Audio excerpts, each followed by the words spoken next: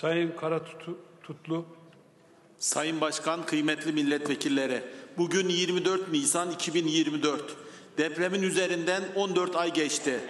5 gün sonra Kahramanmaraş ve deprem illerinde mücbir sebep sona eriyor. Şehir esnafı ve ticareti perişan halde.